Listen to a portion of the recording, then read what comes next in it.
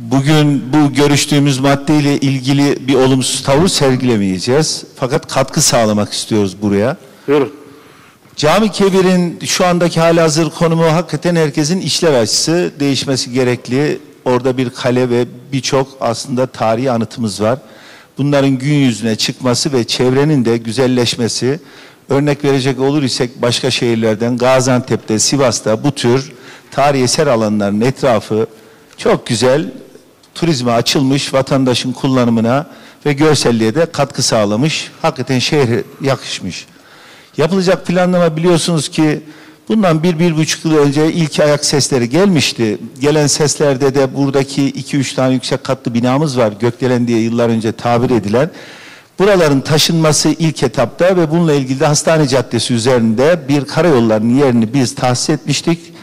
Ee, ve bu tahsis üzerine orada bir bu binaların oraya taşınması ile ilgili aslında çok güzel bir alan boşaltılması yapılacak. Aslında biz kentsel dönüşümde bunu defaten söylüyoruz. Kentsel dönüşüm olduğu yerde dönüşüm derken yoğunluğu hep oraya vermeyelim. Bazen böyle rezerv alanlarını bulalım. Yoğunluğun bir kısmını kaydıralım dediğimiz aslında burada da Büyükşehir'in doğru yaptığı bir uygulama. Sayın Başkanım biz bu konuları şunun için anlatıyorum. Bu madde bir geçecek bir evet diyeceğiz. Ama yıllarca biz burada otopark sorununu çözemediğimizi de göreceğiz. Bu şehrin en önemli sorunlarından bir tanesi eğer 30 40 50 yıllık bir projeden bahsediyor isek bunun bir otopark şehir merkezinde olduğunu hiçbirimizin atlamaması, yatsımaması lazım. Bugün Cumhuriyet Mahallesi veya 27 Mayıs diye tabir ettiğimiz yerde hiçbirimiz araçla gitmek istemiyoruz. Neden? Çünkü orada araç park alanını bulmak kadar zor bir durum yok. Hele yaz dönemi mi kitleniyor. Değerli arkadaşlar, biz burada şu anda e, planlanmış bir otoparkın kaldırılarak buranın ticarete dönüştürülmesine karar vereceğiz. Özür diliyorum.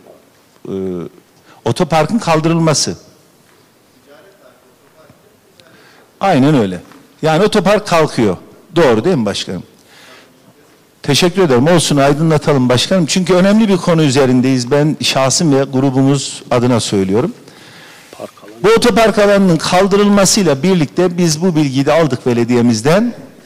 O yüksek katlı binaların kaldırıldığı yerde 4 hektarlık, 4000 metrekarelikte bir planlama yapılıyor otopark planı. Onu da eksi birde yapıyoruz. Üst tarafını da muhtemelen ticarethane yapacağız. 4000 metre yeterli mi diye ben size sormak istiyorum. Hemen örneğini vereceğim. Sayın Palancıoğlu geçenlerde bir açıklama yaptı. Dedeman okulunun olduğu yeri kaldıracağız. Biz buraya otopark yapacağız dedi. Hakikaten doğruda bir karar Sayın Başkan'ın yaptığı. Çünkü balıkçıların arkasına da gitmeyi istemiyoruz. Yer bulamıyoruz. Otopark yok. Ama hemen 10 yıl geriye dönüyorum değerli arkadaşlar. Oraya Hunat katlı otopark yapılmış. Sanki yeter diye düşündüğümüz bakın 10 yıl geçti. Bugün yetersizliğini görüyoruz. Peki bunları niye anlatıyorum? Bugün bir alışveriş merkezi oluşacaksa orada cami kebir esnafımızı da koruyacak isek onların otoparkını mutlaka çok sıhhatli, sağlıklı yapmalıyız ki insanlar bir AVM'ye gitme yerine bizim cami kebir bölgesindeki yeni kurulan yerimize gidebilmeli. Şehir dışından gelen arkadaşlarımız otopark rahatlıkla bulabilmeli. Hala sorun sorunuz şuysa 4000 metre yapılacak bu yeterli. Yine bir örnek veriyorum. Malum bildiğiniz adı Hilton sonra değişen alanın arkasında çok büyük bir otoparkımız var. Aylar önce, yıllar önce, birkaç yıl önce buraya yapıldığında çok büyük bir otopark demiştik hepimiz. Bugün onun üstü de otopark. Diğer taraflara geçiyorsunuz yeni yapılan alışveriş merkezlerinin orada otopark. Koca Sinan Belediyesi'ne ben defaten gittiğimde önü otopark ama yer bulamıyoruz. Yani otopark aslında çok basit gibi görülen ama bir planlama yapılırken atlamamamız gereken de bir konu. Bir bina yapıyorsunuz. 20 daireli belediye başkanlarım çok iyi bilecek otopark yasası var. Otoparkını çözün diyor. Ya altta çözün ya bahçede çözün diyor. Biz koskoca şehrin göbeğini planlıyoruz. 4000 metre bir otopark planlıyoruz. Yetersiz. Eksi birde. Biz deriz ki bu şu anda dönüştürdüğümüz ticaret olacak yerin de eksi bir altı otopark olsun. Hatta o bölge madem bir ele alınacak komple gerekebiliyor ise altı otopark olsun deriz. Çünkü bu kıymetli elinizi kaldırdığınızda 10 yıl sonra belki de biriniz diyecek ki ya bu şehrin bu göbeğinde otopark ne kadar sıkıntılı diyecek.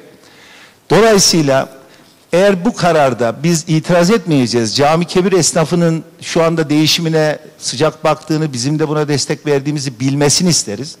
Fakat biz onların gelecekte müşterisinin daha çok olması, daha çok gezilir alan olması, AVM yerine oraya gidebilecek bir altta otopark olması ve sayın belediyemize de, belediye başkanımızın e, huzurunda söylüyorum.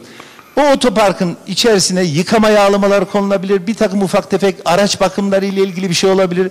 Cami Kebir'in kıymetli esnaflarımız sanayi aracını götürmek yerine bir elektriksel bir arıza varsa, yıkama yağlaması varsa aşağıda indirmeli. Akşamda giderken anahtarını almalı deriz. Biz bu katkıyı sağlamak isteriz. Uygun görürseniz Sayın Başkanım plan müellifleriniz var. Bu plan geçerken bu şekliyle geçerse gelecek Kayserimize hakikaten kıymetli bir karar almış olursunuz. Kararımız lehtedir onu da söyleyeyim. Katkımız da budur. Komisyon raporu hakkında görüş bildirmek isteyen başka arkadaşımız var mı? Olmadığına göre raporun kabulünü oylarınızı arz ediyorum. Kabul edenler, kabul etmeyenler oy birliğiyle kabul edilmiştir. Üçüncü gündem maddemiz. Efendim sordum. Cevap veren olmadı arkadaşlarımdan. Siz de zaten kabul ediyorsunuz İmar Bayındırlık Komisyonu raporunu.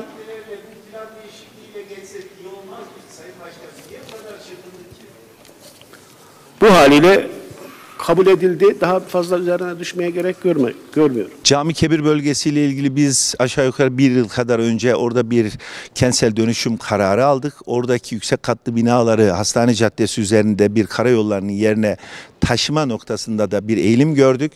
Bununla ilgili alınan kararın üzerine şimdi bu bölgede daha önce planlanmış ortada şu anda okul arazisi olan bir alanın yarısı ticaret yarısı otoparktı. Fakat oradaki esnafımızın yoğunluğu orada dükkan talebinin karşılanmaması üzerine oradaki otoparkı yok ediyorlar. Yani bu şehir merkezinde yeni bir şehir alanı oluşturuyorsunuz. Cami Kebir bölgesinde ve oradaki otoparkı kaldırıyorsunuz. Nereye koyuyor? Yüksek katlı binaların olduğu yerde bir 3-4 bin metrekarelik bir alana koyuyor. 3-4 bin metrekarelik bir alanda 700-800 araç otopark görev hizmeti alabilir. Bunun çözüm olmayacağını söyledik. Örnek de verdik. Bakın 10 yıl önce Hunat e, katlı otoparkının olduğu yeri düşünün müthiş Kayseri'nin otopark sorunu çözüldü denilmişti. Bugün geldiğimiz noktada e, 50. yıl okulu neydi o? Dedeman. Dedeman İlkokulu'nun olduğu alanı da yetersiz kalınca otopark orayı da biz tekrar imar değişikliğiyle bugün tekrar otoparka dönüştürüyoruz. Yani otopark bir şehir merkezinin can damarıdır. Bu anlamda biz diyoruz ki cami kebir esnafımızın daha fazla müşteriye hizmet edebilmesi ve müşterinin çok rahat oraya ulaşabilmesi için bu arkadaşlarımızın en önemli sorunlarından bir tanesi otopark. Bu alanın altında ticaret alanının altında biz otopark yapalım eksi birde ve bu otopark alanının içerisinde yıkama yağlama koyalım. Belediyeye de bir gelir elde edelim. Bir takım araç bakımlarıyla ilgili bir alan oluşturalım. Belediye buradan da para kazansın. Ama bölgedeki bizim tüccarımız aracını aşağı indirdiği zaman araç bakımını yaptırabilsin. Ufak tefek tabii bu dediğim. Veya aracı yıkansın, yağlansın veya başka bir yerden nasıl AVM'ye gitme arzusu oluyor insanda otopark olduğu için aynen orada da cami kebir bölgesine gelsin. Otoparka aracını indirebilsin rahat rahat oradan yukarı çıksın alışverişini yapsın. Bu o bölgedeki arkadaşlarımızın lehine bir talebimizdi. Ama bugün biz gördük ki e, Sayın Savruk Belediye e, Meclisi'ni idare etmişti. Bu konuşmanın üzerine hemen oylamaya geçti. Yani bu kadar acele edilecek bir karar değil. Çünkü 10 yıl önce aldığımız Hunat katlı otoparkı yetersiz veya 10 yıl önce aldığımız eski Hilton'un önündeki otopark yetersizken biz İyi Parti olarak bunu gündeme getirdik. Sayın Savruk'un bu konuyu açması plan müellifleriyle görüşmesi, Kayseri'nin akilleriyle tartışması hatta cami kebir esnafımızın fikrini alması gerekirdi. Ama siz de şahit oldunuz ki çok hızlı bir şekilde oylamaya geçti ve kapattı. İnanın 10 yıl sonra o bölgede otoparkta sıkıntı yaşandığı zaman ben bu konuşmayı o, o zamanki arkadaşlara izah edeceğim. Veya bunu buradan cami kebir esnaflarıma size dükkan yeri veriyorlar ama otopark alanı vermiyorlar diye şikayet edeceğim. Memduh Bey olsaydı değişir miydi? Tabii? Kesinlikle değişirdi. Bugün Sayın Memduh Bey burada olmuş olsaydı takdir eden bütün AK Partili MHP'li mesuyeleri hayranlıkla dinlerken hiçbir itiraz etmezken Sayın Savruk'un Bir an önce bu oylama geçsin, kapansın. Yarın belki başıma başka bir sıkıntı olabilir, itirazlar olabilir. Belediye başkanı yine açtım bu konuyu der kaygısını çektiğini gördüm. Ama cami kebir esnafı bunun hesabını Büyükşehir Belediyesi'ne sormalı. Bir iş yeri yapacaksınız, otopark vermeyeceksiniz. Verdik diyecekler, yeterli değil ki orası. Orada 700-800 bin tane dükkan yapacaksınız. 700 araçlık park yeri koyuyorsunuz. Hangi müşteri nerede park edecek? Hangi? Tabii şehir yoğunluğunu düşünün. Siz şahitsiniz. Bu anlattığım şeyin absürt olmadığını bilecek kadar da ben Kayserliyim. O bölgeyi kullanıyorum. Cami kebir esnafı hakkını aramalı.